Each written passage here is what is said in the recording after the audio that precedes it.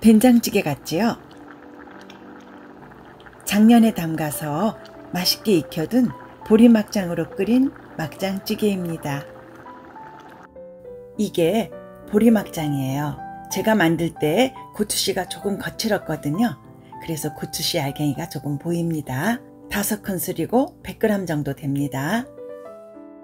이건 마른 표고 불린 것 내장입니다.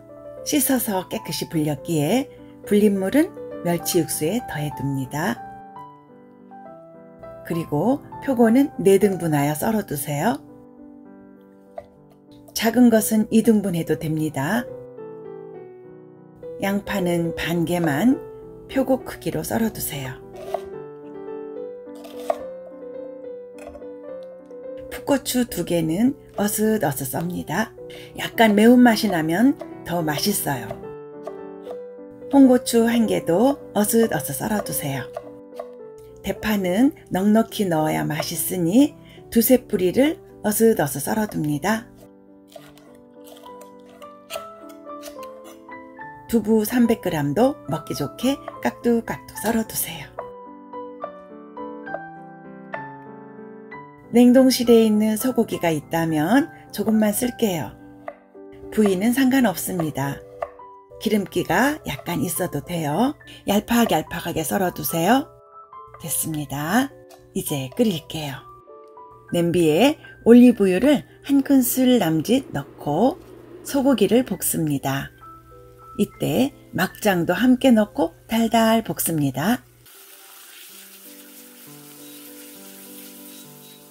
타지 않도록 멸치 육수를 조금씩 부으며 구수하게 볶아야 합니다.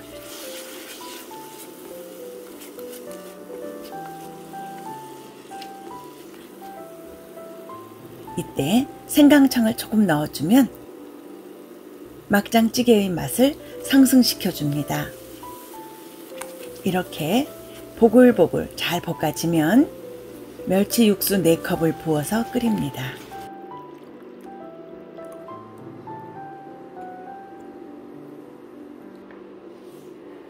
그리고 표고를 넣고 양파를 넣고 두부를 넣고 다진 마늘을 넣습니다. 그리고 대파를 넣고 청양고추도 넣어줍니다. 이제 보글보글 맛있게 끓일게요. 갖가지 재료의 맛이 구수한 보리막장에 어우러져서 정말 향긋합니다. 막장을 볶아주는 것 외에는 간단하지요? 이제 맛있게 끓었으니 퍼담아 볼게요.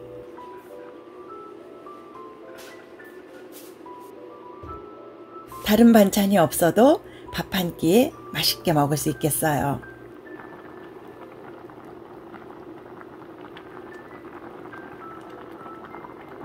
막장찌개의 백반이 완성되었습니다. 올리브유에 볶은 막장 국물이 정말 구수하고 깊은 맛이 납니다. 생강청이 들어갔는데 표도 안 나요. 그래야 되는 겁니다. 두부도 맛있고 표고도 맛있고 다 맛있어요. 밥에 비벼 먹어도 맛있겠지요? 작년 22년 4월 24일에 올린 보리막장 담그는 법을 참고하셔서 막장도 담그시고 이 막장찌개도 끓여보세요. 간장을 뺀 된장찌개와는 또 다른 영양과 맛이 있으니 기대하세요. 오늘도 시청해주셔서 감사합니다. 구독과 좋아요도 부탁드립니다.